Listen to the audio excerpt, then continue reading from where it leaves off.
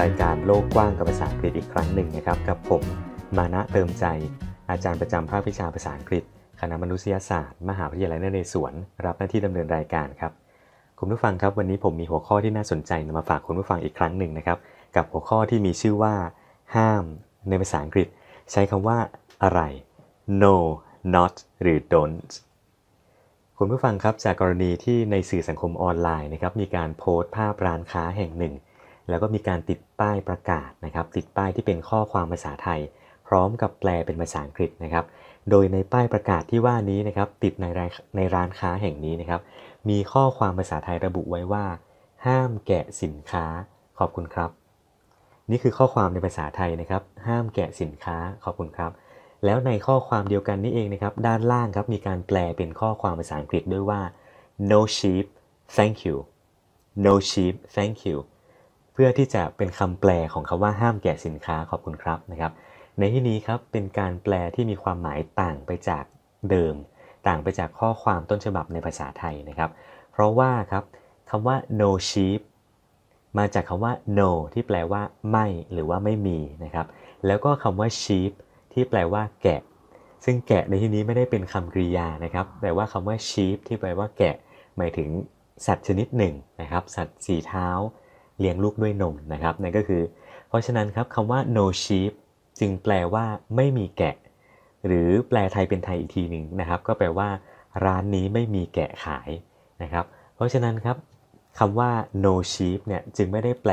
ตรงตามต้นฉบับภาษาไทยว่า ห้ามแกะสินค้าตามที่ระบุไว้ในข้อความนะครับ วันนี้ครับรายการโลกกว้างภาษาอังกฤษนะครับ จึงจะขอพาคุณผู้ฟังนะครับ มารู้จักคำว่า ห้ามในภาษาอังกฤษครับ คุณผู้ฟังอาจจะเคยได้ยินคำว่า no not และ don't ว่ามีความหมายว่าไม่ หรือว่าความหมายในเชิงปฏิเสธนะครับ ใน 3คำนี้ครับ มีคำไหนบ้างที่แปลว่าห้ามได้บ้าง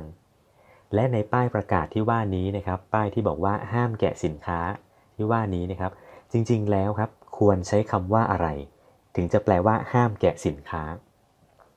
ก่อนอื่นเลยนะครับ ขอ พูดถึงคำแรกกันก่อนนะครับ นั่นก็คือคำว่า no n o no ซึ่งคำว่า no นะครับก็เป็นคำที่พบเห็นโดยทั่วไปนะครับ มีการใช้โดยทั่วไป คนที่เรียนภาษาอังกฤษนะครับคำแรก ๆ ที่เรารู้จักก็คือคำว่า yes no นะครับใช่แล้วก็ไม่ใช่นะครับคำว่า no นะครับสามารถใช้เป็นคำปฏิเสธครับแปลว่าไม่ หรือว่าไม่ใช่ หรือว่าไม่ได้ หรือว่าไม่รับนะครับ คือแปลแล้วมีความหมายในเชิงปฏิเสธ ขอยกตัวอย่างนะครับในประโยคนี้นะครับ Would you like any coffee Would you like any coffee แปลว่ารับกาแฟไหมครับ อันนี้เวลาที่เราจะตอบปฏิเสธนะครับ อาจจะบอกว่า no thanks no thanks แปลว่าไม่ครับ ขอบคุณครับ มีคนมาเสนอกาแฟให้ใช่ไหมครับ แต่ว่าเราอาจจะยังไม่ต้องการณขณะนี้ก็ตอบปฏิเสธ โดยใช้คำว่า no thanks นะครับ ก็เป็นการปฏิเสธไป อีกตัวอย่างหนึ่งนะครับ สมมติว่ามีคนมาถามว่า are you American are you American ซึ่งแปลว่าคุณเป็นคนอเมริกันใช่ไหมนะครับ ถ้าเราไม่ใช่คนอเมริกันใช่ไหมครับ เราก็จะต้องตอบปฏิเสธไป อาจจะตอบว่า no I'm Thai no I'm Thai ไม่ใช่ครับผมเป็นคนไทยนะครับคำว่า no ก็เป็นการปฏิเสธ นอกจากนี้นะครับคำว่า no ยังใช้ในความหมายว่าไม่มีได้อีกด้วยเช่นกันครับ ขอยกตัวอย่างนะครับคำว่า no อย่างเช่นในประโยคภาษาอังกฤษนี้ครับ บอกว่า there are no problems there are no problems แปลว่าไม่มีปัญหานะครับคำว่า problems แปลว่าปัญหา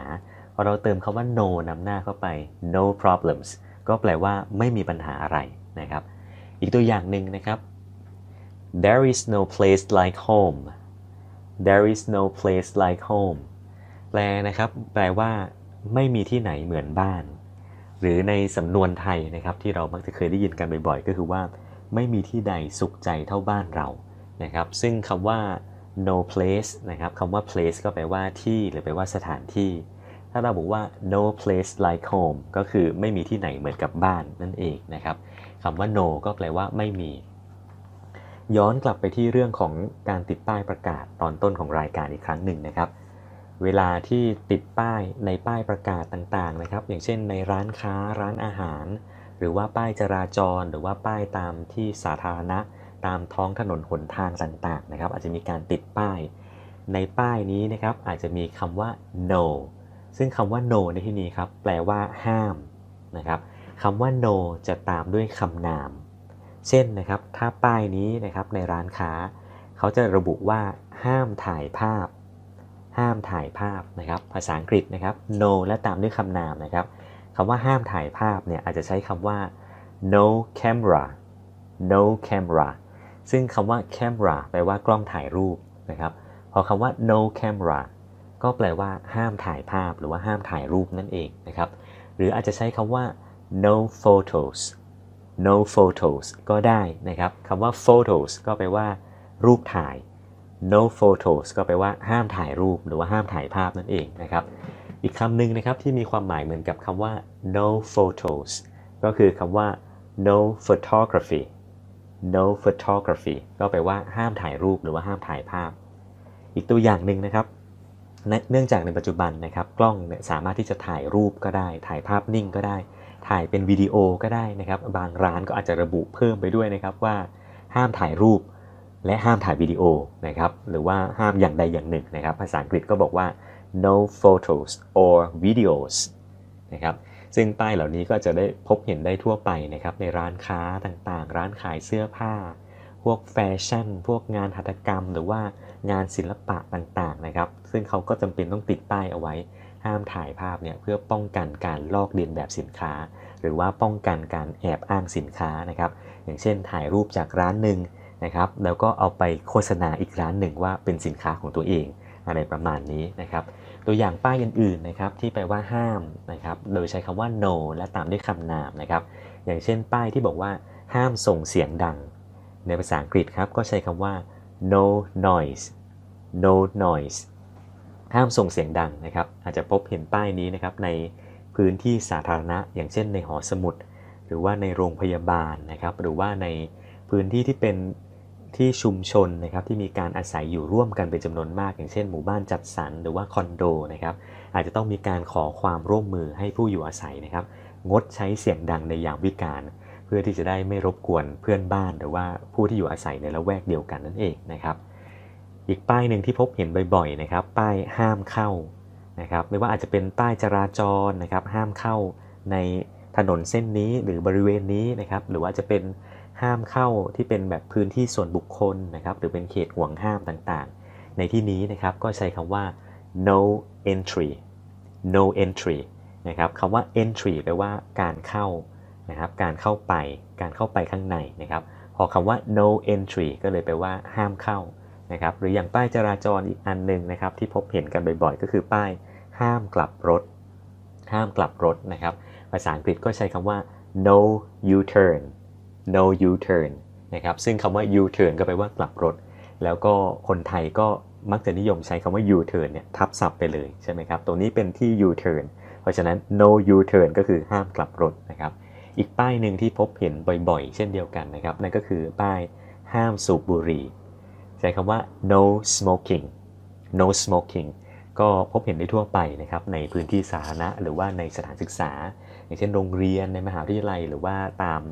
ป้ายรถเมย์นะครับหรือว่าในร้านร้านอาหารร้านค้าต่างๆนะครับอาจจะมีป้าย no smoking บ่งบอกไว้นะครับ มาถึงคำที่2นะครับก็คือคำว่า don't หรือว่าคำว่า do not คำว่า don't นะครับเป็นรูปย่อของคำว่า do not ซึ่งก็แปลว่าห้ามครับคำว่า don't ครับมักจะนิยมใช้ในภาษาพูดหรือว่าในการพูด โดยทั่วๆ ไปในชีวิตประจำวันนะครับ ส่วนคำว่า do not มักจะนิยมใช้ในภาษาเขียนหรือว่าในในการเขียนที่เป็นทางการนะครับเขาก็จะเขียนแบบเต็มว่า do not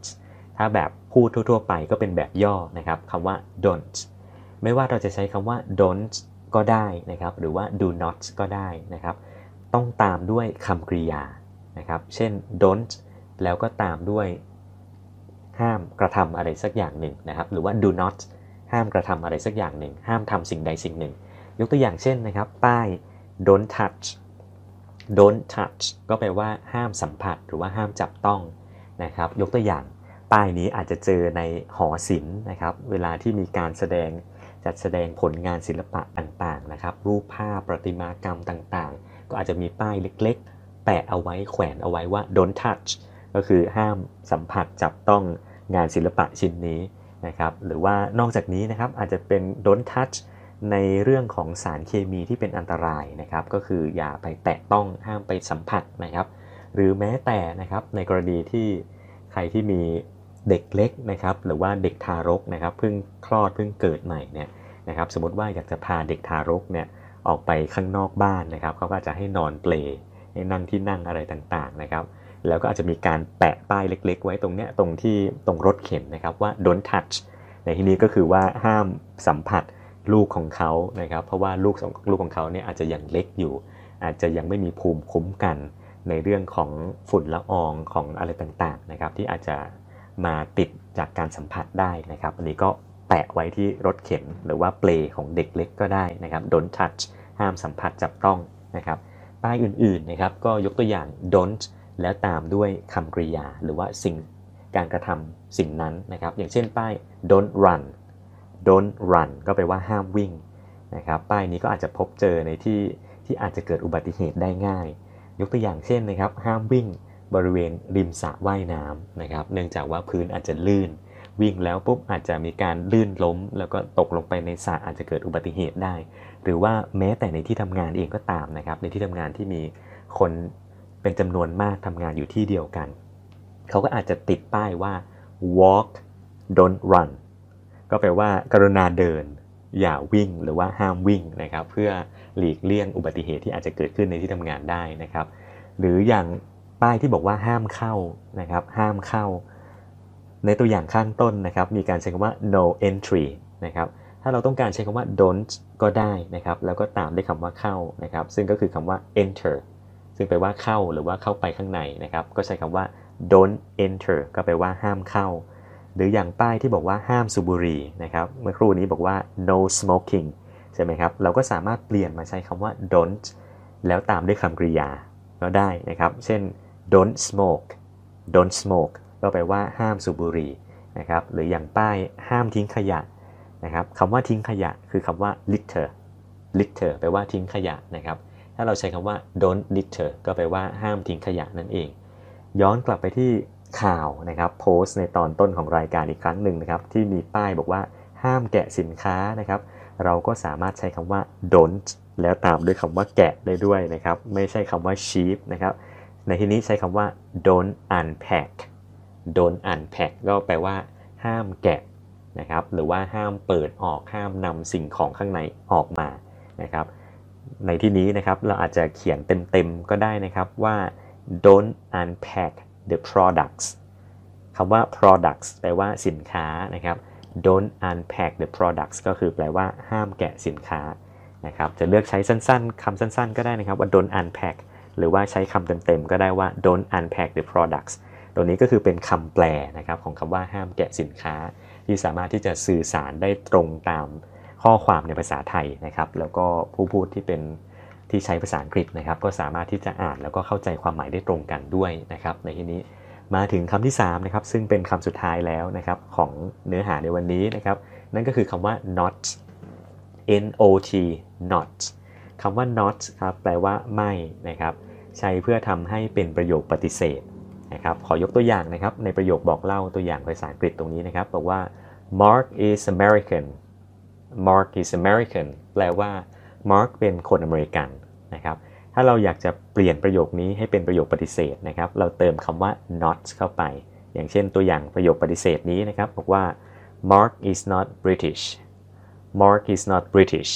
แปลว่า Mark ไม่ใช่คนอังกฤษนะครับคำว่า not ก็แปลว่าไม่หรือว่าไม่ใช่นะครับ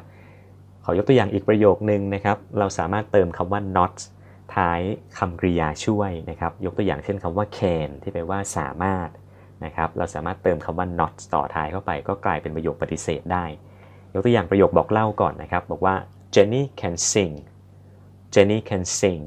แปลว่าเจนนี่ร้องเพลงได้ เจนนี่ร้องเพลงเป็นนะครับถ้าเราอยากจะเปลี่ยนประโยคนี้นะครับปรับให้เป็นประโยคปฏิเสธนะครับเติมคำว่า not เข้าไปนะครับ Jenny cannot drive Jenny cannot drive ก็แปลว่าเจนนี่ขับรถไม่เป็นนะครับคำว่า not ตรงนี้นะครับ ไม่ได้แปลว่าห้ามนะครับ ไม่เหมือนคำว่า no ไม่เหมือนคำว่า don't นะครับ แต่ว่า not แปลว่าไม่ทำประโยคให้กลายเป็นประโยคปฏิเสธนะครับสำหรับวันนี้นะครับ มีคำศัพท์อยู่ 3คำนะครับคำว่าห้ามในภาษาอังกฤษนะครับ ใช้คำว่า no แล้วก็ตามด้วยคำนามนะครับ อย่างเช่น no U-turn ซึ่งแปลว่าห้ามกลับรถนะครับ และอีกคำหนึ่งนะครับคำว่า don't แล้วก็ตามด้วยคำกริยา อย่างเช่นคำว่า don't enter ซึ่งแปลว่าห้ามเข้า นะครับ ส่วนคำที่ 3 ก็คือคำว่า not ไม่ได้แปลว่าห้ามนะครับ แต่แปลว่าไม่ใช่นะครับ วันนี้ครับรายการโลกกว้างกับภาษาอังกฤษนะครับ ก็หมดเวลาลงแล้วนะครับ ก็พบกันใหม่ในครั้งหน้าครับ กับผมมานะเติมใจครับ ขอบคุณผู้ฟังทุกท่านนะครับ ที่ติดตามมาจนถึงขณะนี้นะครับ พบกันใหม่ครับ สวัสดีครับ